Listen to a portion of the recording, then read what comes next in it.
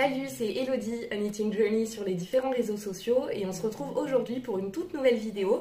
C'est la première fois que je vais faire ce type de format. C'est une vidéo dans laquelle je vais vous donner des petits conseils et des astuces pour pouvoir vous lancer dans la réalisation de l'Ingrid Sweater de Petite Knit. C'est parti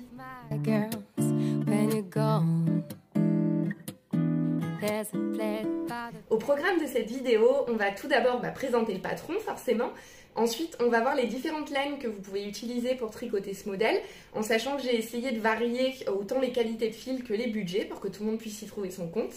Ensuite, on va s'attarder sur la construction de ce patron, tout simplement pour que vous puissiez bien comprendre par quelles différentes étapes vous allez devoir passer pour obtenir l'ouvrage terminé. Ensuite, on parlera des différentes techniques, donc il y aura des vidéos type tutoriel pour les différentes techniques qui sont utilisées pendant cet ouvrage.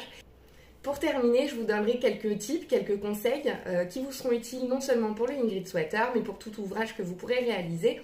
Et je parlerai notamment de conseils sur la lecture du patron et des grilles. Le but de cette vidéo, c'est de vous aider à vous lancer pour tricoter ce patron.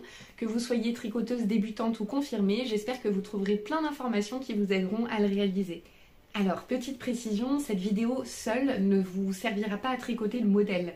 Il faut en parallèle que vous ayez le patron. Donc le patron, vous pouvez le trouver sur deux supports différents. Vous pouvez le trouver sur le site de Petite Knit directement ou sur le site qui s'appelle Ravelry.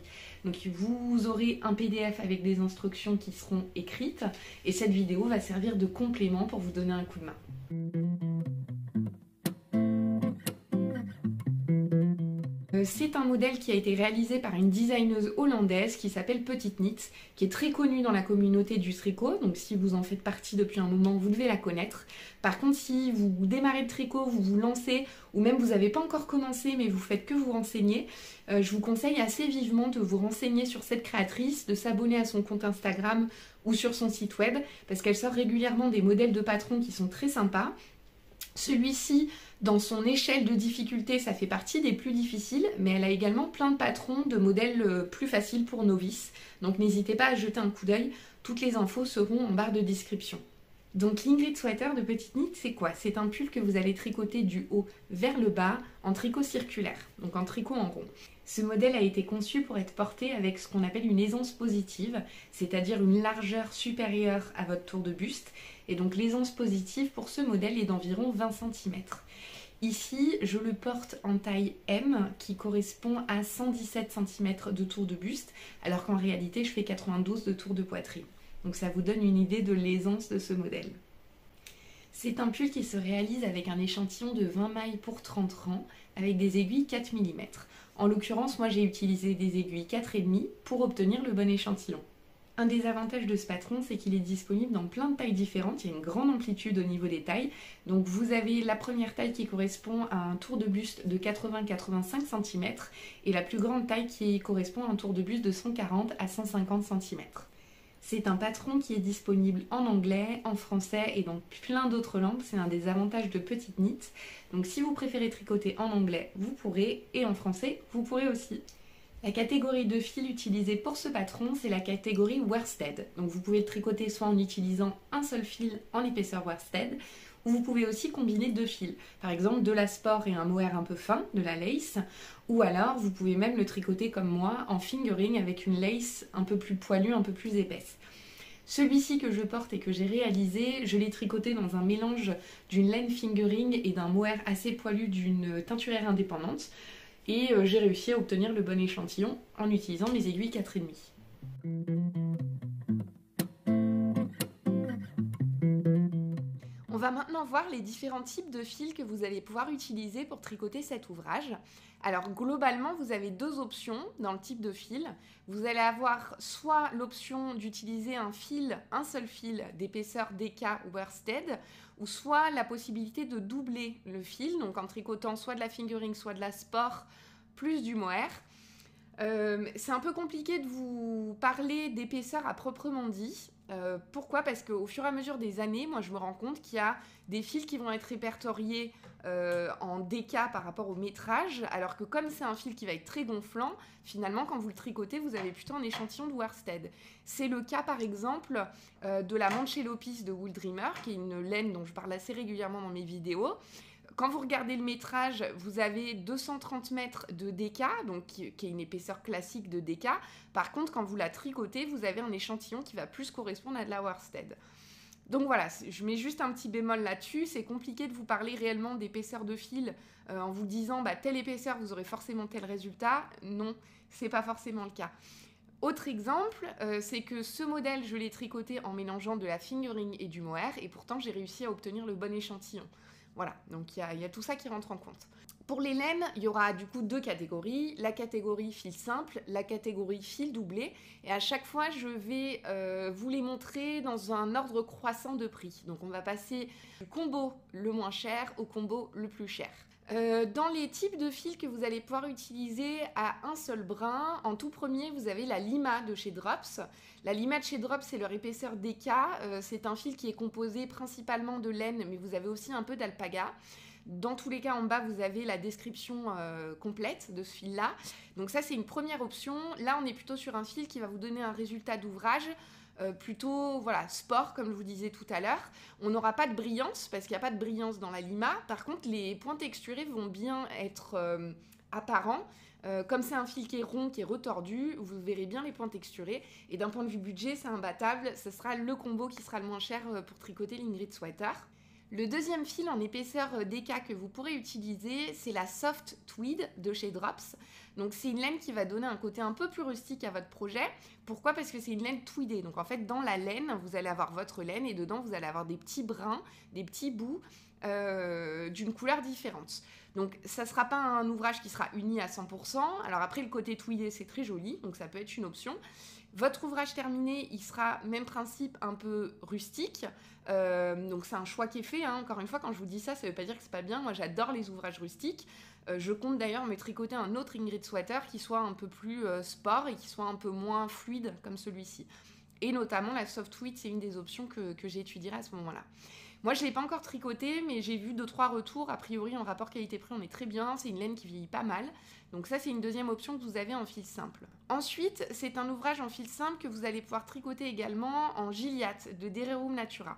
Alors moi, c'est une laine que j'adore personnellement. Euh, c'est une laine qui n'est pas d'une douceur absolue comme un mérinos. Elle a un côté un peu sèche. Par contre, elle est très rebondie, très moelleuse, très agréable à tricoter. Et sa principale qualité, selon moi, c'est qu'elle fait très très bien ressortir les points texturés. Donc euh, c'est vraiment une bonne option si vous avez envie que les motifs ressortent énormément. Autre option de laine que vous pouvez utiliser, ce serait la Pirgins de Sandesgarn. Donc c'est une laine d'épaisseur DK qui va avoir un aspect plutôt rustique. Euh, c'est une laine qui est composée de laine qui provient de moutons norvégiens à 100%. Euh, elle est très bien aussi pour faire ressortir les points texturés, donc euh, même principe que ce que je vous ai dit précédemment. Ça va être des laines qui vont avoir euh, l'avantage de vous déjà d'être très chaudes, surtout pour celle-ci, et puis d'avoir l'avantage de bien faire ressortir les textures de votre ouvrage.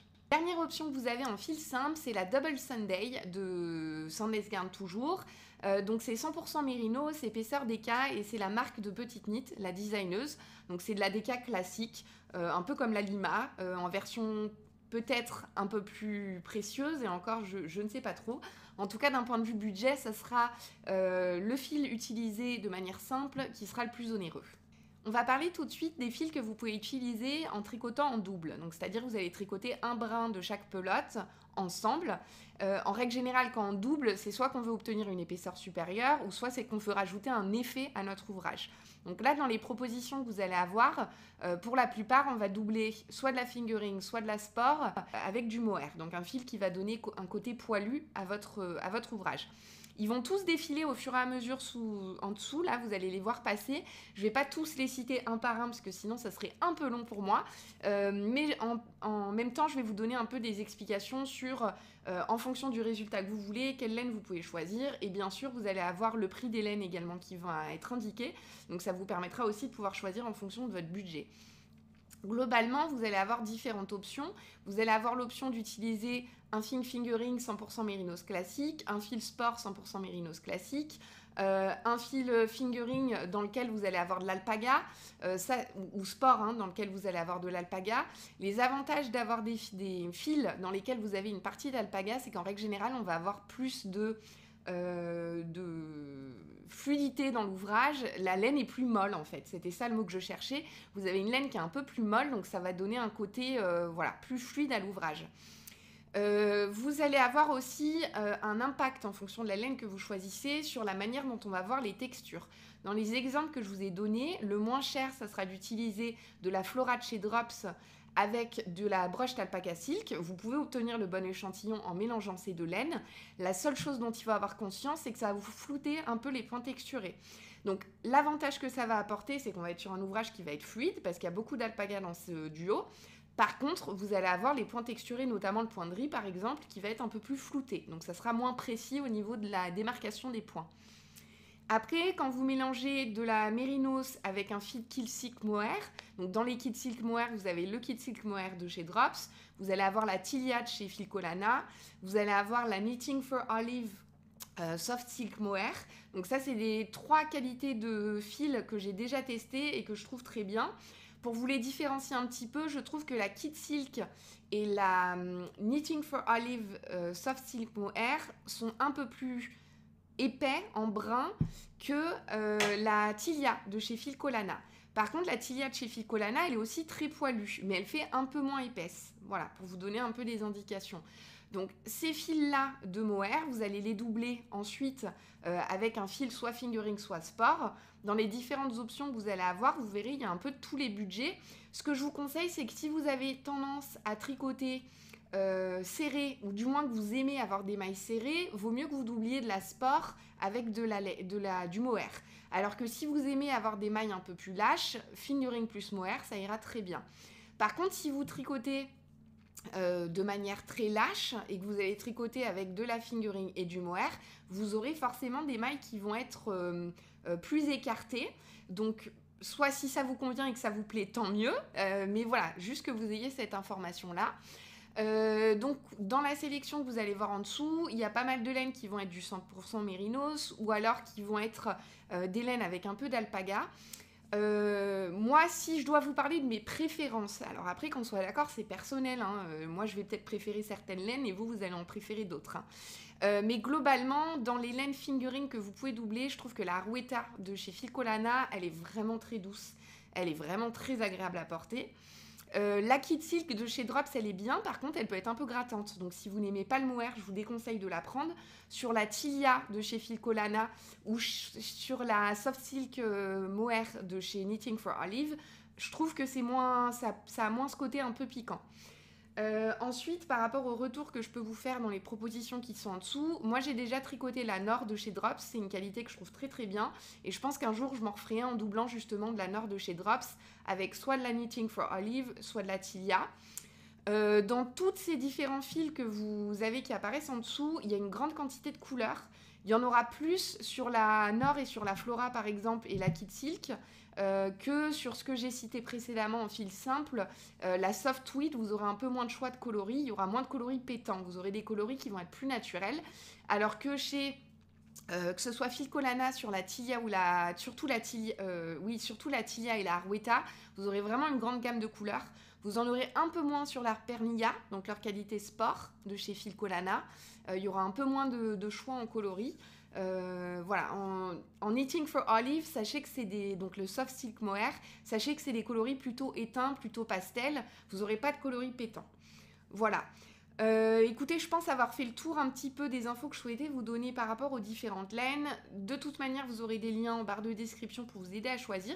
Et si vous avez besoin de conseils ou des questions, n'hésitez pas à m'envoyer un petit message, soit en commentaire sous cette vidéo, soit sur Instagram ou soit euh, sur Ravelry, comme vous le préférez.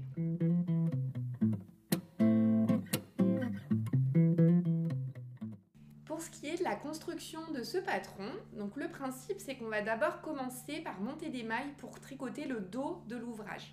Donc les mailles qui ont été montées correspondent à cette démarcation ici. Donc on va monter un certain nombre de mailles qui vont correspondre à toute cette partie, le col, les épaules, du côté du dos.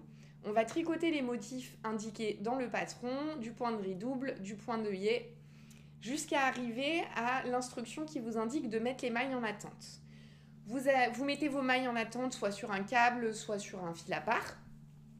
Et ensuite, Petite Knit va nous dire de relever des mailles pour tricoter l'épaule droite et l'épaule gauche. Donc on va relever des mailles sur les mailles qu'on a montées précédemment pour le dos. On va tricoter selon les indications du patron avec des rangs raccourcis. Là, vous, vous le voyez bien que ici, on a moins de hauteur qu'ici. Ça, c'est grâce aux rangs raccourcis qu'on va réaliser. Et on va tricoter jusqu'à la longueur indiquée par le patron en pensant bien à tricoter le motif. On fait la même chose de l'autre côté. On va relever les mailles, tricoter, faire des rangs raccourcis. Et en fait, quand on en arrive ici, c'est ici qu'on va mettre en attente les, manches. Euh, c'est ici qu'on va mettre en attente les demi-devants, pardon. Euh, on va mettre en attente les demi-devants et donc on va monter des mailles ici pour joindre les deux demi-devants. Il euh, y a plein de tutos qui existent. Moi, personnellement, ce que je préfère utiliser, c'est le montage de mailles à l'anglaise. Je vous mettrai un, lien pour une vidéo, puisque j'ai pas filmé de tuto pour ça, pour le coup. je vous mettrai un lien d'une vidéo qui vous permet de réaliser ce montage de mailles à l'anglaise. Mais il y a d'autres options qui existent. Ensuite, on va continuer de tricoter le devant selon le motif qui est indiqué dans votre grille. On va arriver au niveau de du bas de l'emmanchure, donc on va tricoter jusqu'à ce que Petite Knit nous, nous dise qu'on a terminé le, devant. Euh, et on va venir joindre en rond le tricot. Donc là, c'est très simple. Hein. En fait, au lieu de tricoter en aller-retour, vous continuez en rond de tricoter votre dos et votre devant. On tricote le corps jusqu'à la longueur voulue, toujours en respectant la grille. Et on va terminer par des côtes 1-1 et par un rabat. Je vous ai mis en tuto euh, le type de rabat que je fais moi, qui est le Jenny Surprisingly Stretchy Bind Off. Étape suivante, c'est qu'on va devoir relever des mailles tout le long de la bordure de notre demi-devant et de notre dos euh, pour joindre en rond et tricoter les manches. Alors, petite info. Euh, dans ce patron, comme la plupart des patrons, Petite Knit nous fait faire des diminutions. Et donc, elle nous dit de diminuer tous les temps de nombre de rangs mais elle ne nous précise pas comment faire pour que ce soit le moins visible possible. Alors, pour les côtes de 2, c'est pas très problématique parce que c'est vraiment sous l'emmanchure, donc ça va être peu visible. Pour le point de riz, c'est pareil, il vous suffit de bien faire attention de respecter, quand vous faites votre diminution, soit de faire une diminution en maille vert, soit faire une diminution en maille droit pour bien respecter le motif du point de riz double. Et par contre, c'est au niveau du losange que ça se complique. C'est impossible de faire les diminutions sans que ça impacte le motif des losanges. Donc, option que vous avez, euh, auquel j'ai réfléchi et ce que je ferai les prochaines fois. Soit, euh, si vous n'aimez pas les manches trop larges, parce que sachez que moi sur cette version, j'ai fait plus de diminution que ce qui est recommandé par Petite Knit. Normalement, votre manche, elle a euh, à peu près cette largeur jusqu'au bout. première option, si vous n'aimez pas les manches trop larges, je vous conseille de relever le nombre de mailles qui correspond à la taille inférieure. Ça vous permettra avec les diminutions, euh, d'avoir le bon nombre de mailles logiquement pour faire les losanges. De toute manière, prenez bien le temps avant d'attaquer les losanges, euh, quelques rangs avant, de vérifier que vous avez le bon nombre de mailles par rapport à la répétition du motif. Donc en fait, quand vous regardez la grille, vous avez une partie qui est encadrée avec une ligne plus épaisse. Ça, c'est la répétition du motif. Il faut que vous soyez sûr d'avoir un nombre de mailles qui vous permettra de finaliser chaque motif et de ne pas vous retrouver avec un demi-motif. Et donc ensuite, à partir d'ici, euh, donc en faisant ça, c'est-à-dire en relevant moins de mailles, après à partir d'ici, ne faites plus de diminution et vous pouvez en refaire une ou deux si vous le souhaitez pour, euh, euh, faire en sorte que le bout de la manche soit moins large. Autre option, c'est que vous faites le nombre de relevages de mailles recommandés par le patron, vous essayez de condenser un maximum vos diminutions avant les losanges, ce qui vous permettra d'en arriver aux losanges sans avoir de diminution à faire. Même principe, bien faire attention d'avoir le bon nombre de mailles pour pouvoir faire les répétitions du motif. Euh, et puis derrière, même principe, si vous voulez rajouter une ou deux diminutions, vous le pouvez. Donc en résumé, ce que j'essaye de vous dire, c'est d'éviter de faire des diminutions sur la partie des losanges, tout en vous assurant, avant de commencer les losanges, d'avoir un nombre de mailles qui correspond à la répétition nécessaire. Au bout de la manche, on va faire aussi nos côtes 1-1 qu'on va venir rabattre. On fait la deuxième manche et pour finir, on va relever les mailles tout le long du col pour tricoter un col. Alors, dans le patron, vous avez des instructions pour tricoter un col cheminé. Personnellement, je préfère les cols doubles. Euh, donc, j'ai utilisé un autre patron que j'avais pour tricoter le col double. Donc, le col double, de toute manière, c'est assez simple. Qu'est-ce que vous faites? Vous allez tricoter en côte 1-1 pour ce modèle-là, une certaine longueur que vous allez venir replier et vous allez rabattre vos mailles ensemble. C'est-à-dire quand vous allez vous partez de l'intérieur de l'encolure, vous allez relever vos mailles, vous tricotez des côtes 1-1, vous allez plier à l'intérieur et donc quand vous allez avoir plié vers l'intérieur, vous allez avoir des mailles sur votre aiguille et vous allez avoir euh, le début de ce que vous avez relevé qui est ici.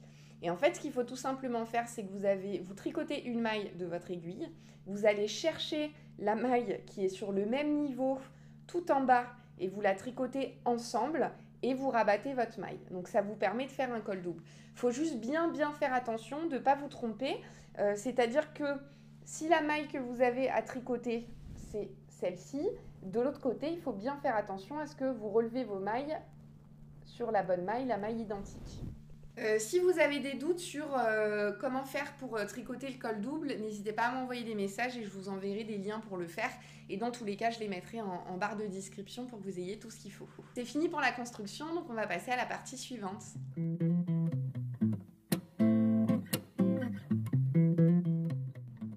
On va maintenant voir les différentes techniques qui sont utilisées sur le Ingrid Sweater.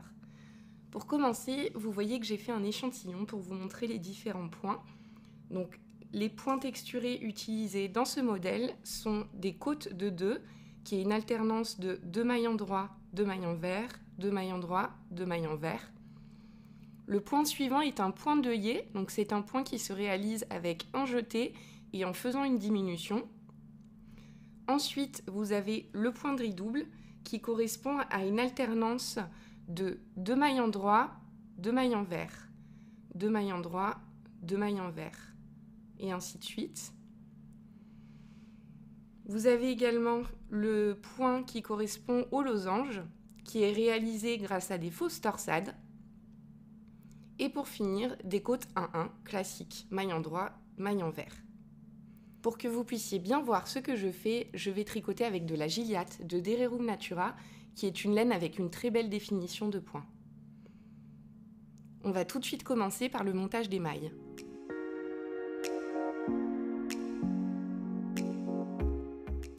Pour monter vos mailles, vous prenez la pelote, vous allez tirer sur le fil pour prendre une longueur qu'on va appeler la queue. Et donc cette longueur va servir à monter les mailles. Quand vous allez monter les mailles, ça va utiliser le fil relié à la pelote et la queue de votre fil. C'est pour ça que vous devez prévoir une longueur qui sera suffisante pour monter l'intégralité de vos mailles.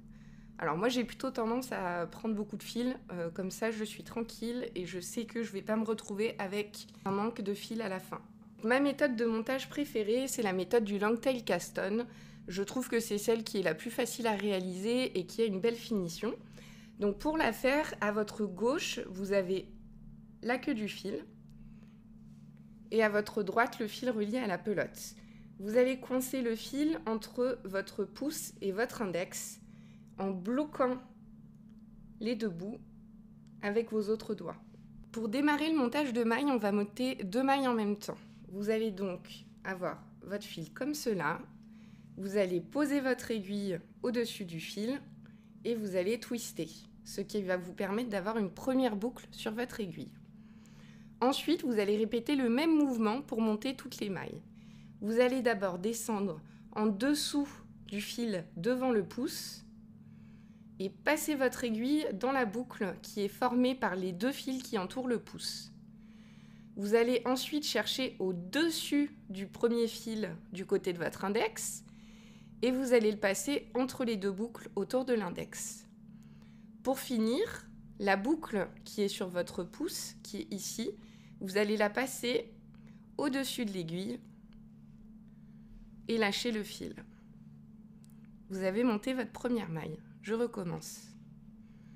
En dessous, au-dessus. Et on passe le pouce. En dessous, au-dessus. Et on passe le pouce. Et ainsi de suite jusqu'à obtenir le bon nombre de mailles. Donc là, je monte un nombre de mailles euh, non précis, juste pour vous montrer les différentes techniques. Je vous conseille de toujours recompter vos mailles à la fin pour être sûr d'avoir le bon nombre, parce que quand on a tricoté depuis 10 minutes et qu'on se rend compte qu'on n'a pas le, bon nombre de mailles, c'est assez frustrant.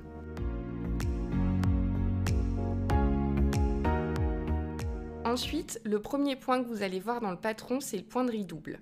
Donc le point de redouble qui est le point ici. Pour le point de redouble que vous voyez ici, donc le point de riz, c'est ce point.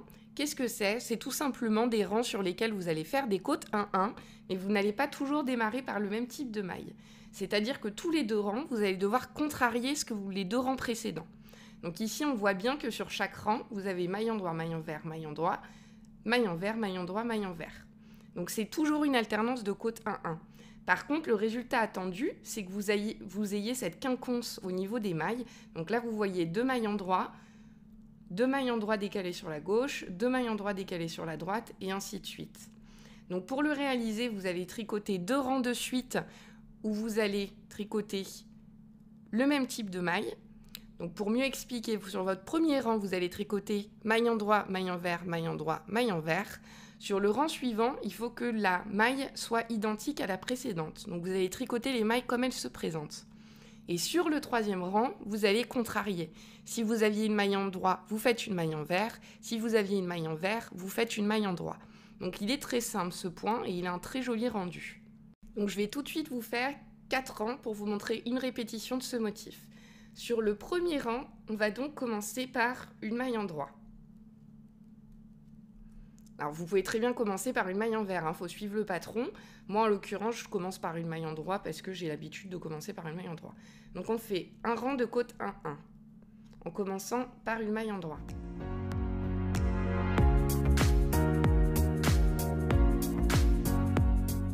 Donc on a terminé le premier rang où on a une maille en droit, une maille en vert, une maille en droit, une maille en vert et ainsi de suite. Que vous soyez en tricot en rond ou tricot en aller-retour, ce qu'il faut que vous gardiez en tête, c'est que sur le deuxième rang, on doit, tricoter les mailles comme elles se présentent. Donc là, on commence par une maille en droit. Donc on va démarrer par une maille en droit. Et on fait nos côtes 1-1.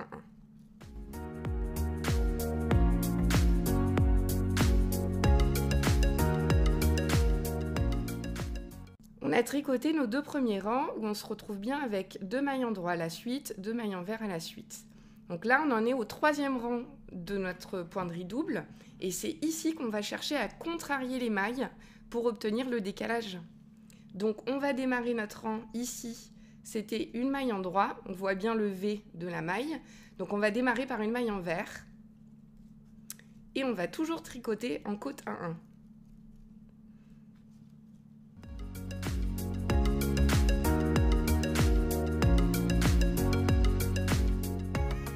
On a fini notre troisième rang et on se retrouve donc avec deux mailles en droit, une maille en vert, deux mailles en vert, une maille en droit. Donc on a bien contrarié.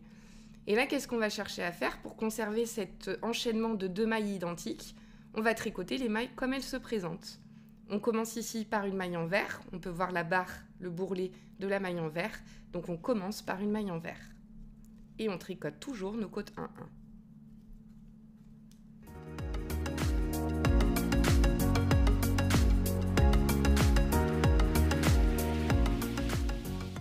Voilà, on a fait du point de riz double. Deux mailles en droit, deux mailles en vert, décalé, deux mailles en vert, deux mailles en droit. C'est tout simplement ça.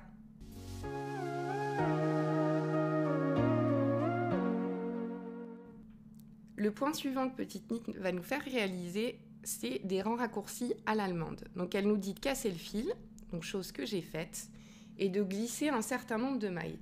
Donc pour les glisser, vous allez les glisser comme pour les tricoter à l'envers, de cette manière.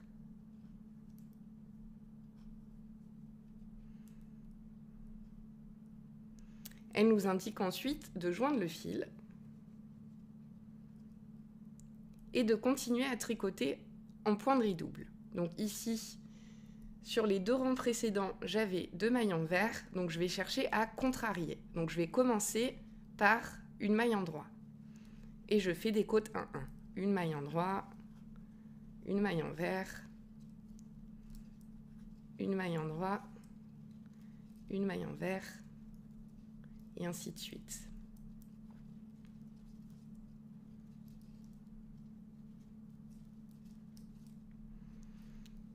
Elle nous indique de faire un rang raccourci à l'allemande. Donc un rang raccourci à l'allemande, c'est quoi? C'est que vous allez tourner votre ouvrage, votre travail, et vous allez glisser la première maille sur l'aiguille de droite. Vous allez tirer votre fil vers l'arrière, comme ceci, et tricoter la maille qui se trouve sur votre aiguille de gauche. Donc là, on fait du point de double. On avait en dessous deux mailles en droit, ici une maille en vert, donc on sait qu'on doit tricoter une maille en vert. Donc on passe notre fil devant et on tricote une maille en vert. Une maille en droit et ainsi de suite. Donc là, on est arrivé à l'endroit où on avait joint notre fil. Donc ces quatre mailles n'avaient pas été tricotées. On va continuer de les tricoter dans le même rythme qu'ici. Donc là, on venait de faire une maille en vert. Ici, on va tricoter une maille en droit. Une maille en vert.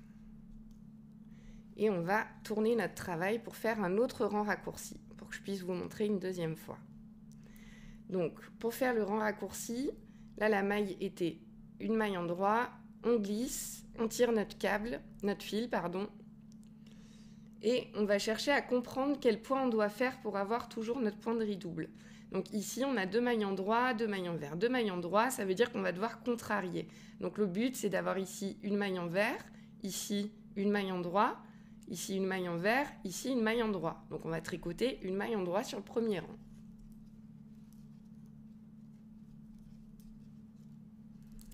on tricote nos côtes 1-1 comme d'habitude. Ici, on voit que c'est le rang raccourci qu'on avait tricoté précédemment. Donc pour le tricoter, on va tricoter les deux bras ensemble. On était sur une maille en vert, donc on tricote une maille en droit. On tricote les deux bras ensemble à l'endroit. Et on continue nos côtes 1-1. On va le faire une dernière fois pour que vous ayez bien compris. On tourne notre travail pour faire un rang raccourci. On va glisser la première maille. Et on va tirer vers l'arrière. Donc on a glissé notre première maille et on tire. Ici, pour continuer notre poinderie double, sur la partie centrale, on voit qu'ici on avait deux mailles en droit, une maille en vert deux mailles en vert, une maille en droit, deux mailles en droit, une maille en vert.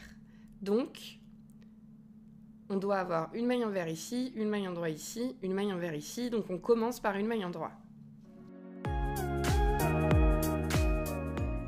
Nos deux mailles doubles du rang raccourci, on les tricote ensemble.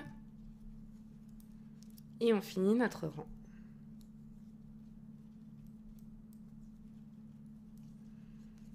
Et voilà, vous avez fait des rangs raccourcis.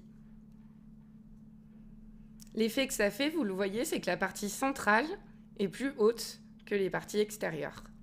Donc les rangs raccourcis vont servir à prolonger l'ouvrage à certains endroits dans le tricot.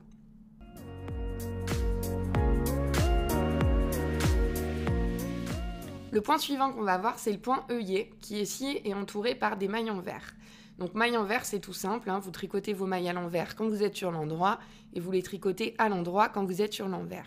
De toute manière, gardez en tête quand vous tricotez, que ce soit en aller-retour ou en circulaire, que votre objectif, c'est de vous focaliser sur ce qui doit apparaître sur l'avant du tricot. Le point œillet, c'est quoi? C'est que vous allez avoir une alternance entre un jeté qui va créer une maille et une diminution qui est réalisée d'une certaine manière. Donc, on va commencer tout de suite par le début du rang où notre objectif c'est d'avoir un jeté. Donc pour obtenir un jeté, le fil je l'ai mis devant ma main. Je vais glisser la première maille comme pour la tricoter à l'endroit, donc comme ceci, par le bras endroit. Je vais chercher à tricoter ma deuxième maille qui était sur l'aiguille de gauche. Comme j'ai mon fil devant, pour la tricoter, je vais créer une maille ici. Donc c'est ça qu'on appelle le jeté. Je vais tricoter la maille et je me retrouve avec trois mailles sur mon aiguille de droite. Je vais donc aller chercher la maille glissée et la faire passer au-dessus de ma maille tricotée. On va recommencer. On commence par un jeté, donc on met le fil devant. On va glisser la première maille de l'aiguille de gauche comme pour la tricoter, donc en passant comme ceci. on va tricoter la maille suivante et on va rabattre en quelque sorte la maille glissée au-dessus de la maille tricotée. Une dernière fois pour être sûr que vous ayez bien compris, on passe notre fil devant pour créer un jeté, on glisse la première maille de l'aiguille de gauche comme pour la tricoter à l'endroit, on tricote à l'endroit la maille suivante et on va passer la maille glissée au-dessus de la maille tricotée. Et voilà, c'est le point œillet.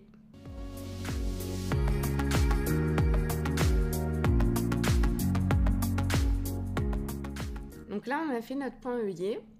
Sur le rang suivant, il va falloir tricoter pour que sur l'endroit de notre travail, on ait des mailles endroits. Donc là, comme je suis en aller-retour, je vais tricoter à l'envers. Si j'étais en tricot circulaire, je tricoterais à l'endroit.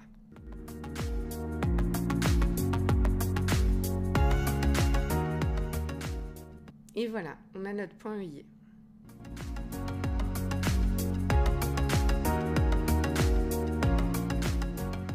Dans le patron, vous allez également devoir faire des augmentations qui vont être inclinées, soit vers la droite, soit vers la gauche. Donc incliné, ça veut dire quoi? Ça veut dire que la maille va s'orienter d'un côté ou de l'autre. Pour réaliser une augmentation qui va s'incliner vers la droite, on va commencer par cela puisqu'on est côté droit de l'ouvrage. Donc une augmentation inclinée vers la droite, pour la réaliser, vous allez... Alors là, je vais juste tricoter la première maille. Et pour réaliser l'augmentation, je vais venir chercher le fil qui est ici.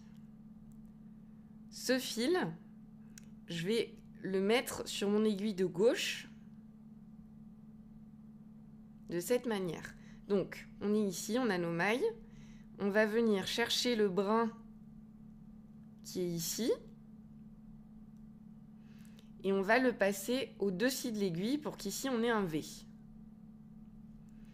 Et on va venir tricoter par l'avant ce brin qu'on a posé sur l'aiguille de gauche. Donc là, j'ai fait une augmentation inclinée vers la droite. Je vais en faire une deuxième. On tricote la maille suivante. On va aller chercher ce brin-là donc le, brin en fait qui passe entre les deux mailles du rang précédent. Donc on va aller chercher ce brin, on va le passer à l'avant, on le dépose sur l'aiguille de gauche, on se retrouve avec un V, on va tricoter le brin. Alors ce brin, vous pouvez le tricoter soit à l'endroit, soit à l'envers. Si je vous donne cette indication, parce que vous allez à un moment donné devoir faire des augmentations sur du point de riz double.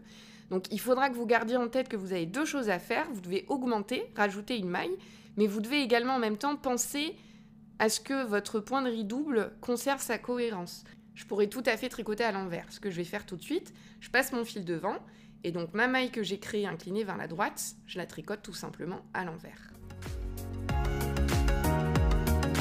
Là, on se retrouve à la fin du rang, je vais faire mes augmentations inclinées vers la gauche. Donc c'est le même principe, vous allez chercher le fil qui passe entre les deux mailles du rang précédent, donc ici, Sauf qu'au lieu de le passer par l'avant, comme pour l'augmentation inclinée par la droite, on va le passer par l'arrière, comme ceci. Je recommence. On va chercher le brin et on va le passer par l'arrière. Ensuite, on va prendre notre aiguille de droite et on va hop, tricoter le brin par l'arrière. On tricote la maille suivante on va refaire. Donc on récupère le fil, le brin qui est entre les deux mailles du rang précédent. On le passe par l'arrière. On se retrouve avec comme un jeté. Et donc on va tricoter le jeté par le brin arrière. Bon, pour faciliter le mouvement, je passe par le devant et je j'arrive à l'arrière. Pourquoi? Parce que c'est un peu plus compliqué d'attraper d'attraper le brin ici je galère un peu avec le focus, je suis désolée. C'est un peu plus compliqué d'attraper le brin par ici. Donc par habitude, moi je fonctionne comme ça. Je vais passer devant. Tricote la maille suivante. Et là, même principe, on va faire une dernière augmentation. On récupère le bras entre les deux, on le passe par l'arrière.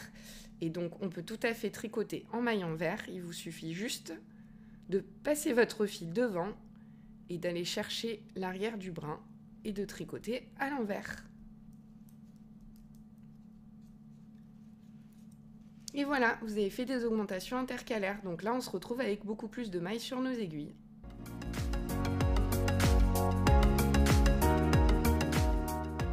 Le dernier point qu'on va voir ensemble, c'est les fausses torsades. Donc les fausses torsades, c'est ce qui va nous permettre de réaliser ces triangles. Donc l'objectif, c'est que sur l'endroit de votre ouvrage, à la fin, vous ayez des motifs de triangles. Ces motifs de triangle, vous allez les réaliser grâce à des fausses torsades qui vont être soit dirigées vers la droite, soit dirigées vers la gauche. Et donc le nombre de mailles tricotées entre les torsades est augmenté pour cette partie du losange et diminue pour cette partie du losange. Donc c'est ça la logique.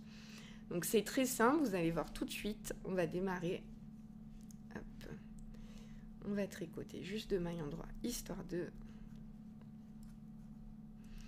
Et donc là, j'ai envie de faire cette barre de l'ouvrage. Donc il va falloir que je, tricote une fausse torsade qui soit orientée vers la gauche. Donc la fausse torsade orientée vers la gauche, comment on l'a fait? Ça va se tricoter sur deux mailles cette fausse torsade. Quand c'est orienté vers la gauche, on va commencer par tricoter la deuxième maille de notre aiguille de gauche par le brin arrière. Donc on va aller chercher le brin arrière ici de la deuxième maille qu'on va tricoter. Donc on va passer notre fil, on va créer une maille ici, vous voyez, mais on ne laisse pas tomber les deux mailles précédentes. Donc on a une maille qu'on a créée ici et nos deux mailles précédentes. Le deuxième mouvement, c'est qu'on va tricoter les deux mailles ensemble par le brin arrière. Donc on va aller chercher par le brin arrière les deux mailles. On va tricoter. Et on se retrouve avec deux mailles sur l'aiguille de gauche, deux mailles sur l'aiguille de droite. Donc on va laisser tomber les deux mailles qui sont sur l'aiguille de gauche. Et voilà, vous avez fait votre fausse torsade. Et vous vous retrouvez avec une maille ici qui est orientée vers la gauche. On va ensuite faire la fausse torsade qui est orientée vers la droite. Donc là, le principe est le même, ça va se tricoter, se travailler pardon, sur les deux mailles.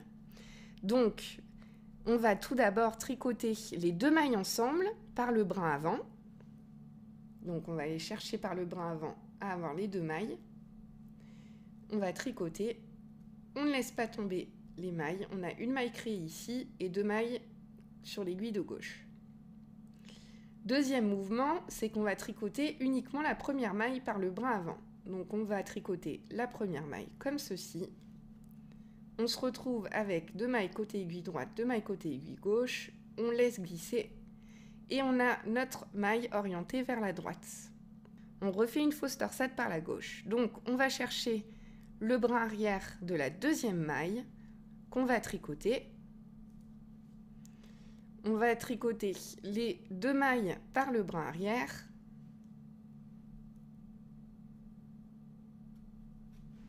Et on laisse tomber les deux mailles. Et voilà, on a nos mailles inclinées. Alors, je vais juste tricoter le rang suivant en maille envers pour vous montrer.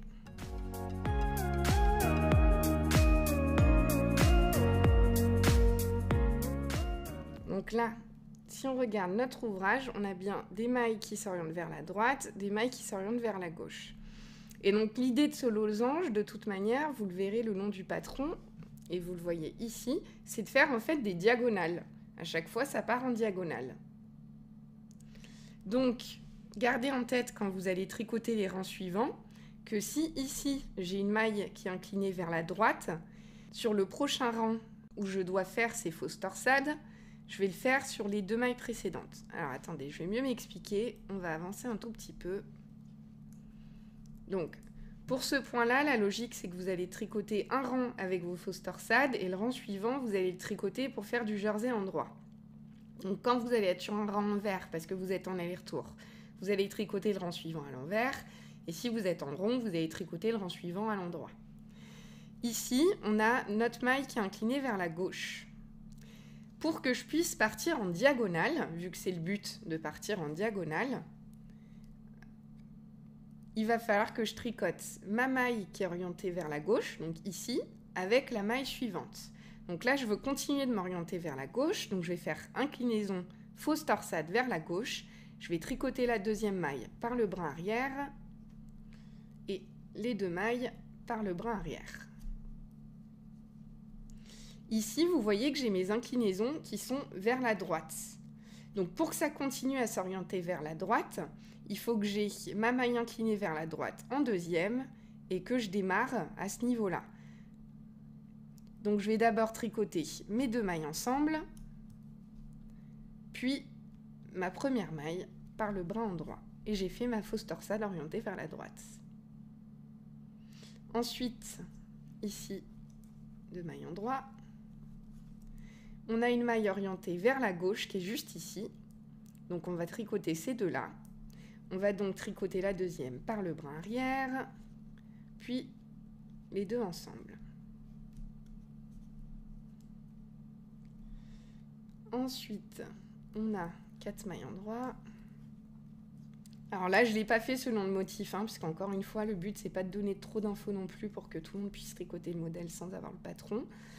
Donc, ici, j'ai mes mailles orientées vers la droite. Donc là, je vais tricoter une fausse torsade vers la droite.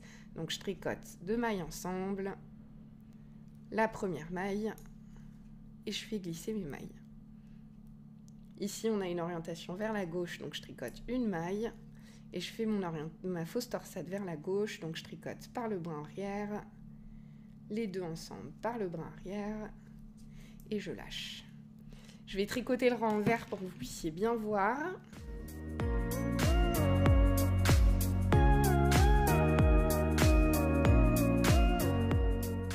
Donc ici, vous voyez bien qu'on a des diagonales qui commencent à se créer. Et donc ça, c'est grâce à nos fausses torsades. Vous avez des mailles inclinées vers la gauche, ici, et des mailles inclinées vers la droite. Et donc en continuant le point texturé, vous obtenez les losanges que vous avez ici.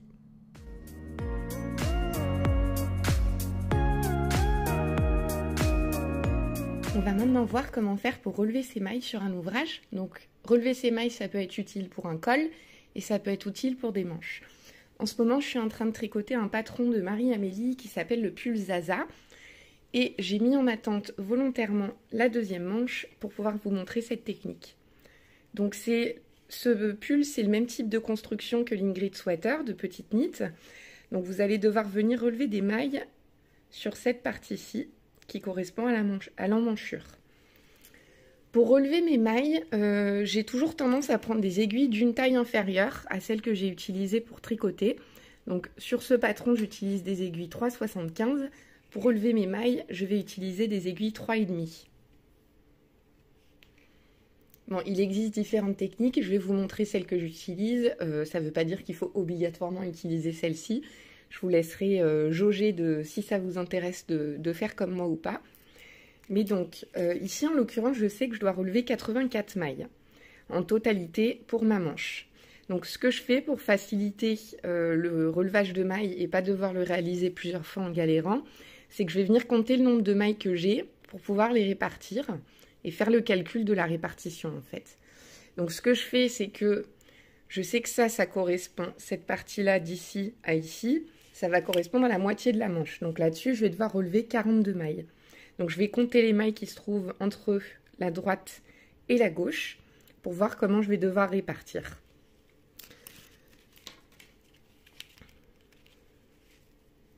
Donc on va venir regarder, alors j'essaye de bien me centrer, on va venir chercher à compter le nombre de mailles qu'on a sur la bordure. Donc on va démarrer du début, on va avoir une maille qui va être ici et ça sera ma maille de démarrage. Je relève toujours un poil en dessous quand c'est vraiment le milieu de l'emmanchure. Parce que comme vous voyez, là, on a des mailles qui vont être un peu lâches. Donc si je relève ici, ça va se voir. Donc j'ai toujours tendance à relever un poil en dessous. Donc on va compter les mailles. Une, deux, trois, quatre. On compte les V tout simplement. Cinq, six,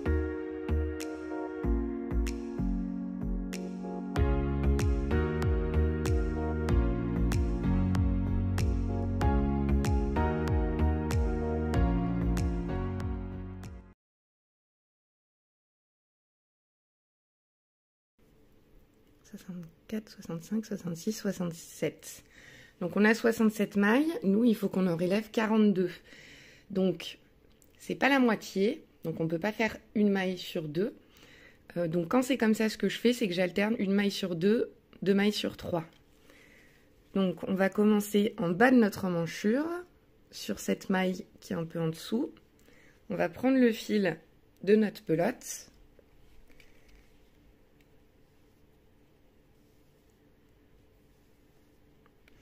Donc je laisse une petite longueur pour pouvoir rentrer le fil. Donc il n'y a pas grand chose, hein. je laisse une petite dizaine de centimètres. Je vais venir bloquer le fil ici avec mon index. Tourner le fil autour de l'aiguille, comme ceci. Donc là, il est bloqué avec mon index à l'arrière et je vais venir autour de l'aiguille. Voilà. Et je vais, en même temps que je le tiens, tirer le fil entre la maille. On a relevé notre première maille. Je recommence. J'insère mon fil. Je bloque le fil avec mon index. Je tourne autour de l'aiguille. Et je vais venir tirer pour créer une première maille. Donc là, j'en ai relevé une. Je vais en relever tout de suite une deuxième.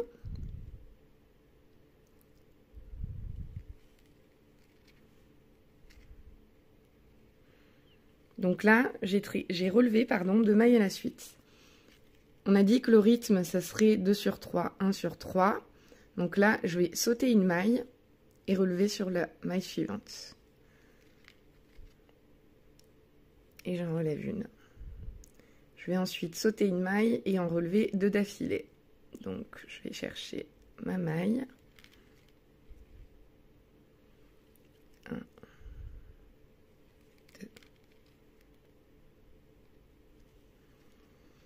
Je saute une maille. Là en fait, ce qui peut vous aider si vous avez du mal à, cerner les mailles, c'est d'étirer le tissu hein, tout simplement. Là on voit bien que j'ai relevé ici, que j'ai un autre creux juste après donc je vais devoir relever sur la maille suivante, ici. Et j'en relève une. Et je fais la même chose. Ici j'ai un creux, j'ai mon fil qui est passé à l'intérieur, donc je saute celle-ci et je relève la suivante. Là j'en fais deux à la suite. Et ainsi de suite jusqu'à la fin de votre relevage.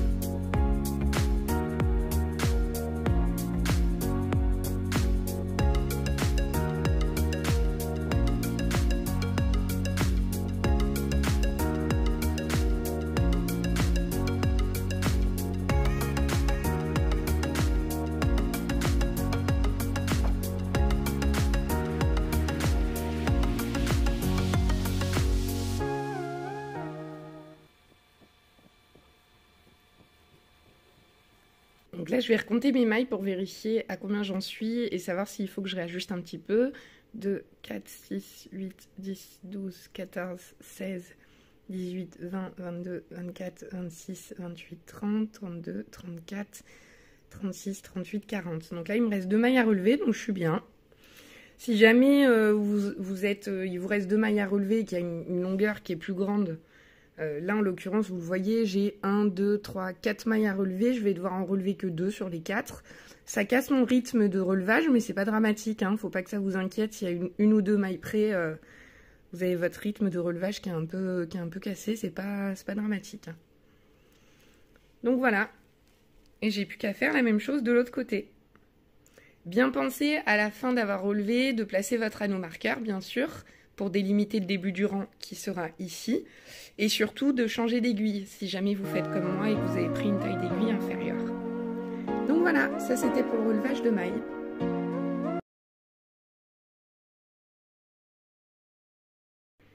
Dernière technique que je vais vous montrer, c'est la technique que j'utilise pour rabattre mes mailles sur des côtes 1-1. Donc là, j'ai tricoté quelques rangs de côte 1-1. Vous avez vos mailles en droit, vos mailles en vert, vos mailles en droit, vos mailles en vert. Donc on est bien en côte 1-1. Et donc la technique que j'utilise s'appelle le Jenny's Surprisingly Stretchy Bind Off. C'est une technique que j'ai découverte grâce à Marie-Amélie Design, euh, qui je trouve a une jolie finition et pas trop compliquée à faire. Donc ça peut être une option de, une solution de repli si vous n'avez pas envie de faire un rabattage à l'italienne comme indiqué par Petite Nit dans le patron. Donc pour faire ce rabat, vous allez d'abord devoir défaire de votre câble votre aiguille de droite. Donc j'enlève mon câble parce qu'on va faire un mouvement qui ferait que on serait gêné si on laissait le câble. Donc le principe de ce rabat, c'est qu'on va tricoter la première maille comme elle se présente et ensuite on va twister notre aiguille. Donc en fait on va lui faire faire un twist que je vais vous montrer qui va permettre de twister le fil et donc de gagner en souplesse sur le rabat. Donc, pour démarrer, on va tricoter la maille comme elle se présente. Donc ici, c'est une maille en droit, on la tricote à l'endroit. Ensuite, c'est là qu'on va devoir twister. Donc, on tient notre fil à l'arrière de l'aiguille. Ici, on voit qu'on doit tricoter une maille à l'envers, donc il faudrait que le fil soit devant. Pour ramener le fil devant, on va venir twister dans ce sens notre aiguille. Et on se retrouve avec le fil devant on tricote la maille suivante à l'envers et on va rabattre la maille précédente sur la maille qu'on vient de tricoter. Maille en droit, le but ça va être de récupérer le fil à l'arrière, donc on va twister notre aiguille encore une fois, mais ce coup-là on va la twister vers l'arrière. On tricote la maille et on rabat la précédente. En technique, pour se rappeler du sens dans lequel vous devez twister votre aiguille, partez du principe qu'il y a une logique en fonction de comment vous tricotez la maille suivante. Là, c'est une maille qu'on est censé tricoter à l'envers. Donc pour la tricoter à l'envers, on va faire ce geste. Donc on va plutôt avoir tendance à amener votre aiguille vers le bas, dans ce sens-là. Le mouvement, il se fait, on part de là, le mouvement, il se fait dans ce sens-là. Donc on doit twister vers le bas. Donc on twiste notre aiguille vers le bas, ça nous ramène le fil devant, on tricote la maille suivante à l'envers et on rabat la précédente. Et pour faire une, maille en droit, c'est l'inverse. On va venir chercher vers le haut, comme ceci. Donc, quand on twist, on va devoir twister vers le haut. Donc, on twist vers le haut et on a notre fil derrière. On tricote la maille et on rabat la précédente. Je vais vous le refaire une dernière fois pour que vous ayez bien compris. Donc là, on va chercher à twister vers le bas puisque c'est une maille en vert. Donc on va twister l'aiguille vers le bas, tricoter la maille, rabattre la précédente, twister vers le haut puisque c'est une maille en droit. Donc on twist, on tricote et on rabat. Je vais finir mon rang pour vous montrer ce que ça donne.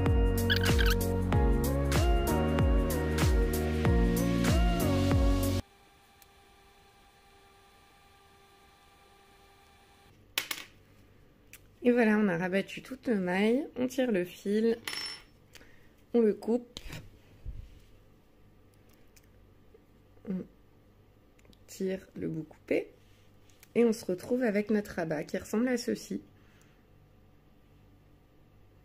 Et qui est bien élastique. Mais pas trop non plus. Donc c'est pour ça que j'aime beaucoup cette technique-là.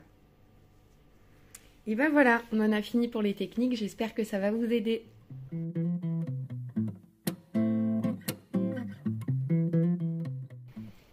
Finir, je vais vous donner deux trois petits conseils de lecture de ce patron. Déjà le premier point, et donc ces conseils que je vais vous donner, c'est des conseils d'ordre général. Ça fonctionne pour l'Ingrid Sweater, mais ça va fonctionner aussi sur d'autres patrons que vous pourrez être amené à tricoter. Premier conseil, prenez toujours le temps de lire le patron du début à la fin. Et moi, ce que je fais même, c'est que je surligne les informations importantes avec un stabilo et je surligne aussi les instructions qui correspondent à ma taille. Alors oui, vous allez perdre 5-10 minutes en début d'ouvrage et très souvent on est très pressé, on a juste envie de démarrer, donc on zappe un peu ces étapes-là. Mais le faire, ça va vous faire gagner beaucoup de temps ensuite parce que vous galérerez moins à lire. Ça, c'est si vous imprimez le patron. Si vous utilisez des logiciels de lecture, pareil, vous pouvez très bien surligner, mettre des infos. Dans tous les cas, prendre le temps de lire pour être sûr de bien comprendre l'ensemble du patron. Le deuxième conseil que je peux vous donner, j'en parle un peu quand je vous ai fait les tutos des différentes techniques, euh, c'est quand on démarre le tricot, on a un peu tendance à suivre tête baissée les instructions d'un patron. Moi, je sais qu'en démarrant, j'ai fait ça. Alors, je m'en suis très bien sortie parce que j'ai tricoté beaucoup de modèles d'une designeuse française qui fait des explications très très claires. Par contre, je me suis retrouvée un petit peu perdue quand j'ai commencé à tricoter des patrons d'autres designeuses qui étaient peut-être un peu moins explicites dans la manière dont elles rédigeaient les patrons. Ce qui fait que je me suis retrouvée plusieurs fois à galérer en tricotant des ouvrages. Si vous prenez le temps, avant même de commencer de tricoter, si vous prenez le temps de regarder les différentes photos de l'ouvrage, et déjà, challengez-vous juste à essayer de comprendre quels motifs et quelles techniques peuvent faire en sorte d'obtenir ce que vous avez devant vous. Et surtout, dans l'exemple de l'Ingrid Sweater, si vous prenez le temps de regarder comment il est conçu, euh, dans quel ordre les points sont utilisés et quelle est la logique, ça vous facilitera beaucoup derrière la lecture des graphiques, donc des grilles. Donc ici, par exemple, prendre le temps de regarder qu'ici, sur le début des épaules, on est sur du point de riz, qu'ensuite on enchaîne avec les losanges, qu'on a le point œillet, qu'on a les côtes de deux, qu'on repart sur du point de riz, et de bien prendre le temps d'étudier tout ça. Euh, pourquoi? Parce que si vous foncez tête baissée, des fois en lisant les instructions, vous n'allez pas comprendre où elle veut en venir. Alors que si dès le début, vous savez le résultat que vous attendez, ça sera beaucoup plus facile de comprendre ces instructions. Troisième conseil que je peux vous donner, qui rejoint un peu le conseil précédent, c'est quand vous allez commencer à tricoter cet ouvrage, donc que ce soit par un échantillon ou directement sur l'ouvrage pour les gens un peu plus courageux et un peu plus foufou, euh, je vous conseille de bien étudier ce que vous faites avec vos aiguilles et surtout le résultat que vous obtenez en faisant les gestes indiqués dans le patron. Pourquoi? Parce que derrière, vous aurez beaucoup moins besoin de garder votre tête sur les instructions constamment. Vous connaîtrez la logique des points, quel est le résultat attendu, et donc du coup, ça vous simplifiera énormément le tricot. Quatrième conseil que je peux vous donner, c'est lié à ce qu'on appelle les charts en anglais, donc les graphiques, les grilles euh, des points texturés. Donc dans ce patron, vous avez deux types d'instructions. Vous avez des instructions qui sont écrites, littéraires, vous avez des phrases qui vous expliquent quoi faire. Et en parallèle, vous avez aussi des grilles avec différents sigles qui sont expliqués sur le patron. Donc je ne vais pas vous expliquer à quoi correspondent les sigles, parce que c'est écrit noir sur blanc, donc il n'y a aucun intérêt. Par contre, pour la lecture de ces grilles, gardez bien en tête dès le début que ces grilles, vous allez les lire de deux manières différentes. Vous allez les lire pour du tricot à plat, puisque vous allez tricoter le dos à plat et les demi-devants à plat, et vous allez lire en tricot circulaire. C'est quoi la différence entre les deux? La différence entre les deux, c'est que quand vous tricotez en rond, vous êtes toujours face à l'endroit du projet. Ici, quand on regarde ma manche, que ce soit d'un côté ou de l'autre, c'est toujours l'endroit. Il faut la retourner pour obtenir l'envers. Alors que quand vous tricotez en aller-retour, vous avez d'un côté vos mailles en droit et de l'autre côté vos mailles en vert. Au lieu de vous focaliser sur la grille, la, oui, la grille doit être lue euh, de droite vers la gauche sur les rangs en droit et de gauche vers la droite sur les rangs en vert, à chaque fois prenez juste le temps de regarder. Ok, je suis sur mon rang en droit, donc sur mon rang en droit, il faut que j'ai tel tel point qui apparaisse. Donc je tricote le point indiqué sur la grille. Sur mon rang en vert, par contre, je suis en train de tricoter l'envers de mon projet. Donc ce qui sous-entend que si sur l'endroit, il faut que j'ai une maille en droit, à l'envers, il faudra forcément que j'ai une maille en vert. Ou si sur mon projet à l'endroit, je vois que j'ai des mailles en vert, comme par exemple au niveau des œillets, vous avez des rangs de mailles en vert, bah, ça sous-entend que quand je tricote mon rang en vert, il faut que mes mailles, je les tricote à l'endroit, puisque c'est à l'opposé que je dois avoir des mailles en vert. J'espère que ça sera euh, simplifiant pour vous, cette manière de transmettre la lecture d'une grille. Et moi, je sais qu'au début, j'avais énormément de mal de tricoter des modèles où il y avait des grilles, parce que j'avais pas cette logique de me dire il y a un endroit, il y a un envers, il faut juste être logique en fait. Il n'y a pas besoin de chercher à comprendre dans quel sens je suis ma grille. C'est surtout qu'il faut regarder l'ensemble de la grille. La grille, en fait, c'est un peu une photographie de votre résultat final. Donc c'est vraiment ce qui apparaîtra à l'extérieur du modèle. Donc voilà, gardez bien ça en tête. J'espère que ça vous sera utile comme ça l'a été pour moi pour lire plus facilement des grilles dans un patron. Si vous êtes encore là à la fin de la vidéo, merci parce que pour le coup, je pense que c'est la vidéo la plus longue que j'ai jamais faite depuis le début de cette chaîne. Euh, ça a été sportif euh, à tourner, à filmer en combinant tout ça avec la vraie vie, quoi, parce que je vous ai fait ça, mais en parallèle, je travaille euh, tous les jours, j'ai ma maison à gérer, etc. Donc ça a été un peu, un peu compliqué. donc j'espère vraiment que le résultat final va vous plaire. Si vous avez découvert ma chaîne par cette vidéo, n'hésitez surtout pas à vous abonner, à me laisser des petits commentaires, des petits j'aime, ça fait toujours plaisir. Et si la vidéo vous a plu et que vous connaissez des gens qui souhaitent tricoter l'Ingrid Sweater, bah, n'hésitez pas à leur envoyer le lien. Merci encore, merci de me soutenir, merci pour votre présence sur cette chaîne et je vous retrouve bientôt pour euh, un format plus classique de vidéo. Bye